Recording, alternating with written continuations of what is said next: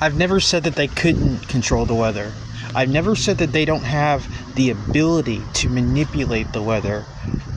But I assure you, what is happening now is something beyond even what they can manipulate and control. It is something that they cannot tweak, that they cannot suppress, that they cannot manipulate. That's what I feel, that's what I've seen.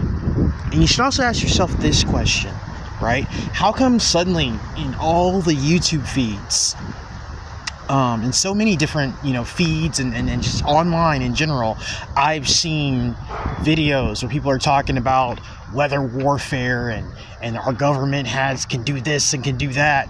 And like on popular podcasts they're talking about weather manipulation and weather warfare. Hmm that's really strange. That's very strange. My humble opinion at this point, they want you to think that they can control the weather. They want you to think that they have the ability to, this is just shit that they can do. I promise you that's not what's going on. This is something completely different. Take it easy.